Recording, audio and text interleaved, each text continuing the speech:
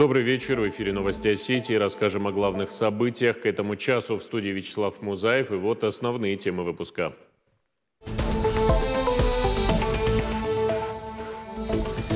Более 30 тысяч человек уже прошли вакцинацию от гриппа, а реконструкцию набережной в районе Кесаева завершат на этой неделе. Сегодня в Доме правительства состоялось очередное аппаратное совещание. Какие поручения дал Сергей Миняйло на заседании с Кабмином?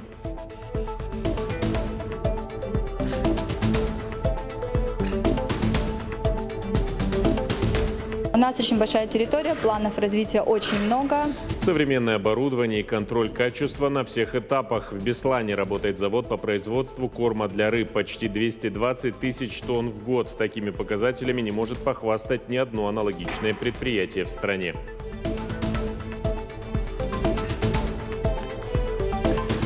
Мгновенная реакция и точный укол. Во Владикавказе провели ежегодные всероссийские соревнования по фехтованию. Они посвящены памяти Героя России Андрея Днепровского. За главный приз боролись спортсменки из разных регионов страны.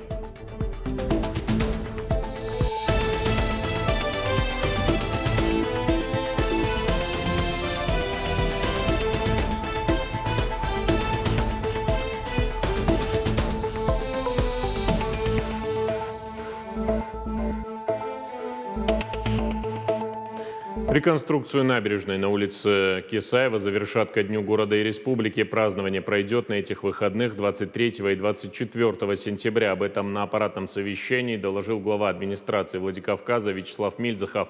Работы там ведут и ночью. Рисков не успеть сдать объект в срок нет. Говорили и об эпидобстановке. Показатели за прошедшую неделю не превысили допустимой нормы. Руководитель управления Роспотребнадзора по региону отметил, в Северной Осетии в рамках ежегодной кампании от гриппа уже привели привили более 7700 детей и почти 25,5 тысяч взрослых. Министр здравоохранения Суслан Тебиев доложил, форма для сотрудников скорой помощи будет полностью готова к концу месяца. Руководитель региона раскритиковал ведомство, отметив, что этим вопросом занимаются уже два года говорили о создании экспозиции Международного центра профилактики терроризма. На это уйдет два месяца. Уже собрали больше 500 фотографий теракта в первой Бесланской школе. Сергей Миняйло отметил, архив должен состоять из материалов о всех террористических актах. Так экспозицию можно будет сделать выездной. 783 нарушения требований пожарной безопасности обнаружили по итогам обследования 60 образовательных организаций республики. Мониторинг проводили в первых числах сентября сотрудники МЧС и прокуратуры. Во многих школах и детсадах замечания уже устранили. Глава региона Сергей Миняйло поручил ответственным ведомствам пересмотреть существующие критерии мониторинга и актуализировать их. Замечание, замечание, Рос. И у нас, да, мы по этому вопросу работаем уже вот два года, да, вот, ну и тоже вопрос задаю, а у нас же школы существуют не два года, а некоторые по 60-70 лет. Поэтому давайте совместными усилиями, усилиями да, будем приводить их в порядок. И еще раз хочу сказать, что значит, компенсационные мероприятия, вы профессионалы в этом вопросе, да, их можно предусматривать, в том числе с учетом новых технологий сегодня. В республику с рабочим визитом прибыли представители государственной корпорации развития Web.рф. Делегацию возглавила Ирина Макиева, главный управляющий партнер по городскому развитию блока городских решений и развития моногородов. В Доме правительства провели двустороннюю встречу. Обсудили направления, в которых могут взаимодействовать. Это сфера ЖКХ, образования, индустрия гостеприимства, здравоохранения, технологическое развитие и не только. Сюда, в республику. Президента, в принципе, активно развивается внутренний туризм. я с большим удовольствием хотела сообщить о том, что у нас команда города Владикавказа приглашена в, на обучение в Сколково. И там будут учиться 200 сильнейших городов по развитию туристической отрасли. Называется по развитию индустрии гостеприимства, потому что Осетия так, очень гостеприимная территория. И мы уверены, что команда Владикавказа и подружится, и найдет совместные какие-то проекты с теми, кто будет учиться на этой программе. Сегодня же провели совместное совещание с Кабинетом министров и руководителями ведомств. Во Владикавказе в районе Новый город появится школа на 1100 мест. В марте этого года заключили концессионное соглашение с организацией «Прошкола». Участок готовят сдавать учебное заведение, планируют в новом году. Проработке вопрос строительства еще двух школ по 550 мест. Взаимодействует и в вопросе строительства курорта Мамисон. Web.рф выступает гарантом на сумму 500 миллионов рублей. Стороны обсудили реконструкцию парка металлургов во Владикавказе. Уже проводили несколько ВКС, встречались с потенциальными инвесторами, но определенности пока не достигли. В республике стартует проект «Тысяча юных футболистов». Его реализует Web.рф и Академия клуба ЦСКА. Специалисты армейского клуба проведут отбор молодых спортсменов в свою школу. Сотрудничать стороны планируют расширять. Я хочу отметить, что команда правительства республики заточена на результат. Такие задачи, я еще раз повторюсь, определил нам руководитель нашей республики. Поэтому тесное взаимодействие с ВПРФ, оно нам необходимо. Много сделано, много уже достигнуто результатов хороших. И, конечно, до конца мы будем их доводить все до логического завершения, и чтобы все проекты были реализованы. В апреле в Беслане запустили завод по производству корма для рыб. В этом в год там планируют выпускать почти 220 тысяч тонн. Показатель лучший в стране, учитывая, что предприятие даже не вышло на максимум своей мощности.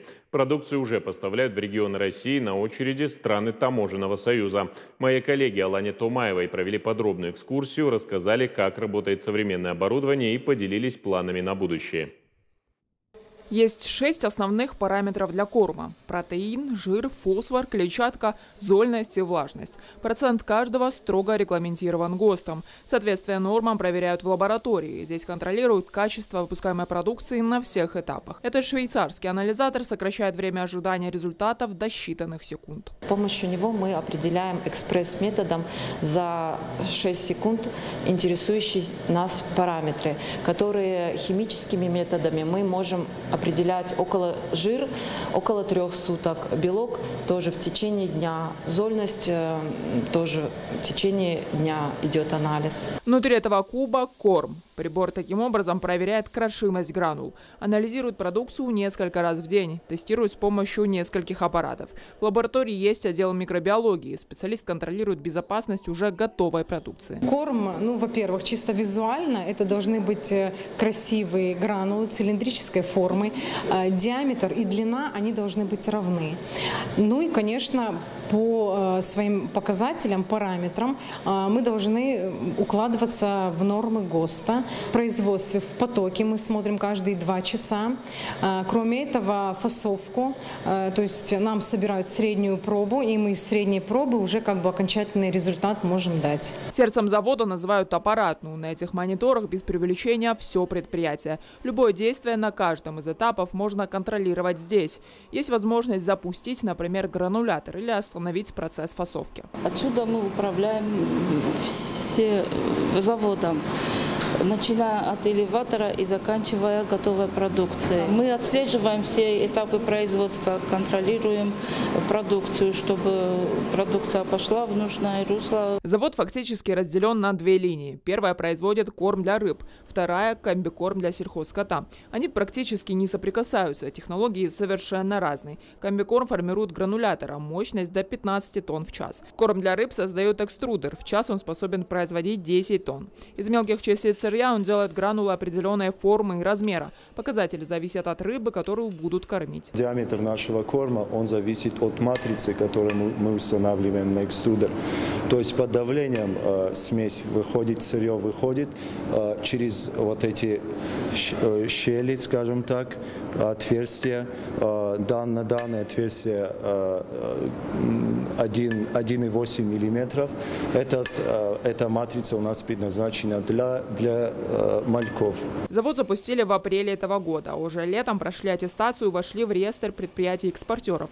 Теперь поставлять продукцию могут в Абхазию, Грузию, Узбекистан и страны Таможенного союза. Сотрудники Россельхознадзора провели ветеринарно-санитарное обследование. Проверяли соответствие требованиям стран в части производства, хранения и реализации кормов. Предприятие аттестовано. И уже 25 августа должностными лицами Россельхознадзора проведен досмотр первой партии кормов, подготовленных для отправки в Республику Абхазия.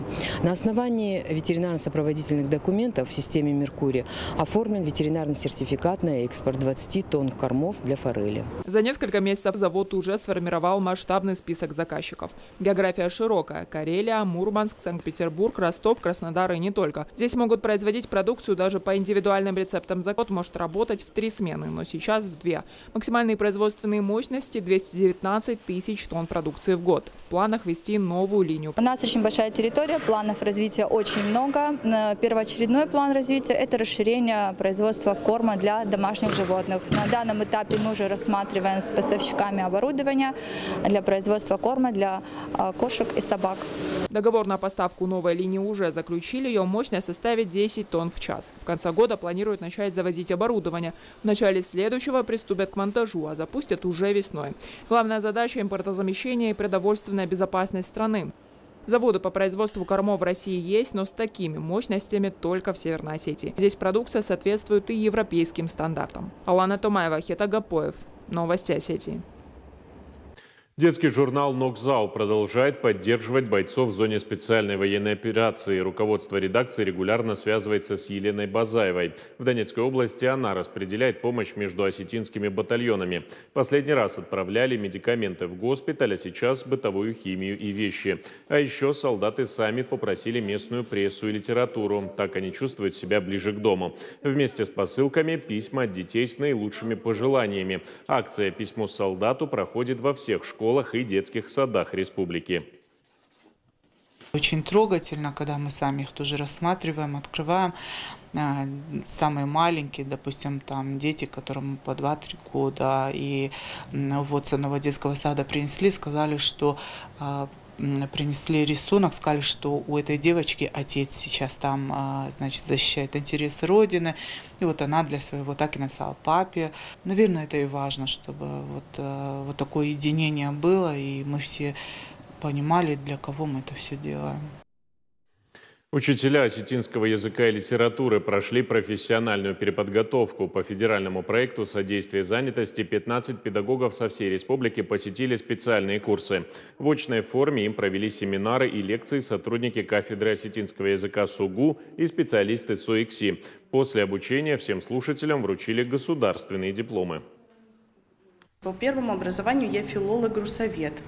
А узнав о курсах, я решила попробовать, потому что понимала, что мне интересно развивать осетинский язык, преподавать его, уметь преподнести его ученику. Но я знала, что мои методологические, например, способности далеки от идеала, и эти курсы очень э, поспособствовали тому, чтобы я стала более подкованной, смелой в том, чтобы уметь э, делать то, что мне нравится, то, что мне хочется, то есть учить осетинскому языку, просвещать, популяризировать его, делать его интересным. На сайте университета для слушателей этой программы размещен весь лекционный курс – видеолекции, дополнительные какие-то материалы, тесты, э, которые необходимы э, слушателям для занятий и в дальнейшем им окажут необходимую помощь во время их работы.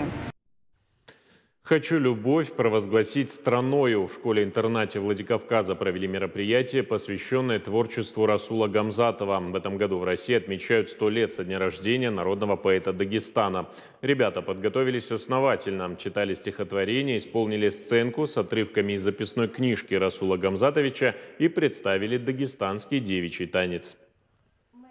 Мне нравится стихотворение Расула Гамзатова, и почему бы не, не поучаствовать в школьном мероприятии, когда здесь так интересно. Я буду рассказывать стихотворение Расула Гамзатова «Слово о матери». Мне нравится больше раскрас... Э, рассказывать э, какие-то трагические отрывки, трагические стихотворения, и это стихотворение несет в себе большой смысл.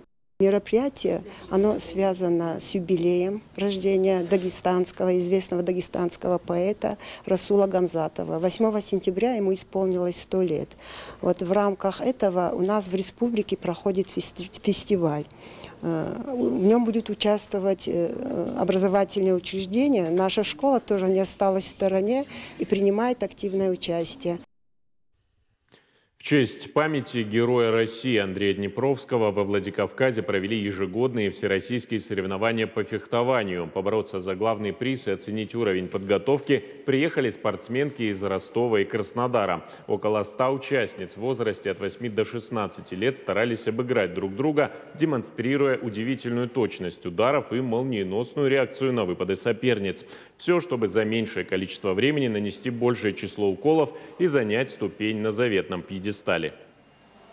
Мне нравится этот вид спорта, потому что э, в данном виде спорта надо обхитрить, обмануть соперника. Не надо иметь какую-то физическую силу, надо иметь ум, мышление, хитрость, ловкость. Дети начинают приходить, появляться, уже больше групп становится. Соревнования как бы реги региональные, но по ним мы, конечно, собираем нашу команду, формируем и на, на более высокие соревнования российские выезжаем. Это были все новости к данному часу. Я прощаюсь с вами. Всего доброго.